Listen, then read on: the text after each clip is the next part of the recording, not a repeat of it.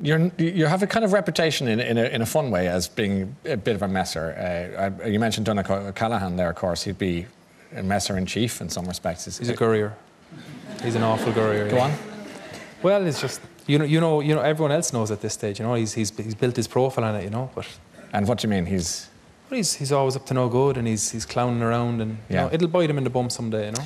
Well, I'm going to tell you, Jerry. I called Donnacha this morning, this afternoon, uh, and uh, I, I, I was asking him just to do some research. So I took a few notes uh, from him as to. I said, "Look, I'm talking to Jerry tonight," and um, he just gave me some tips as to what I should ask you about. Or Okay. so. Can we, look at, can we look at that card? no, no, that's mine. And you wouldn't read my writing anyway. He said, give Jerry a platform to talk himself up, and he will. Um, and he said, Jerry's convinced Munster were nothing until he left Connacht and joined the Munster squad.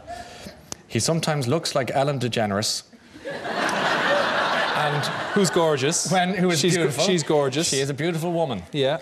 And then there was a point when, when it came to haircuts, you said you wanted to go to a barber shop. He said he was going to Toni and Guy's.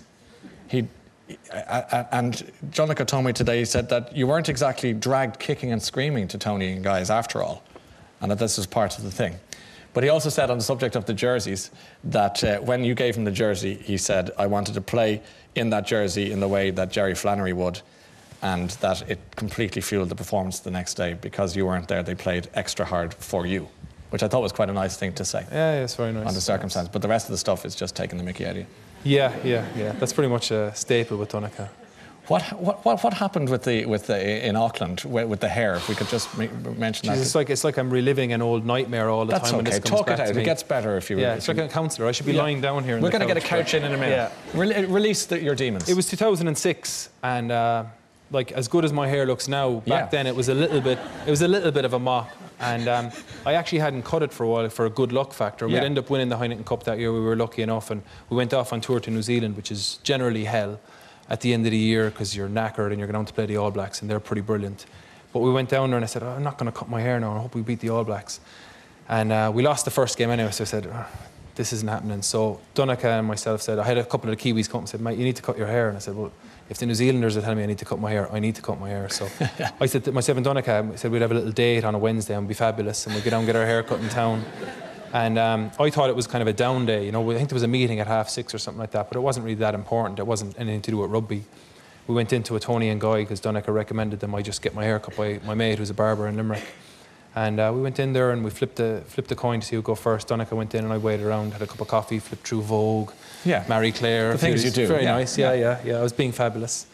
And then um, we went off, and next it was my turn, and Donncha said, "I better head off, Flan." I said, "I was like, oh, okay." He's like, "Yeah, we've meeting in a while, but you know, you've got plenty of time." So I was getting a head massage, coffee, and I was, "This is incredible. What have I been doing before?"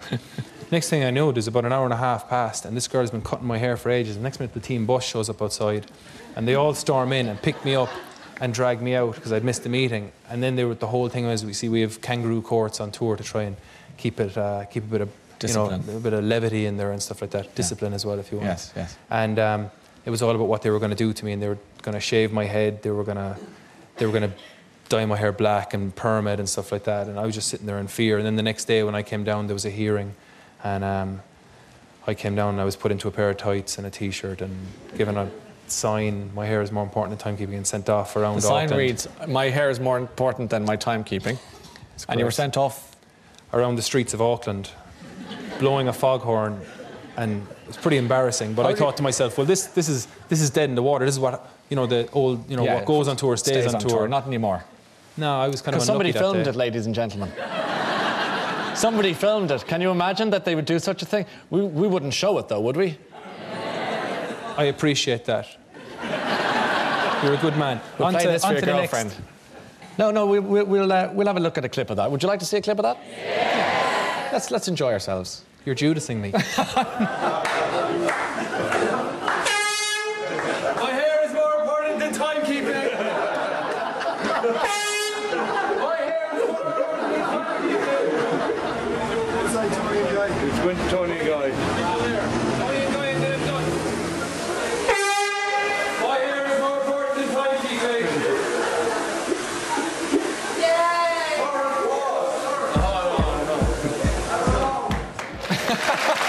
About that.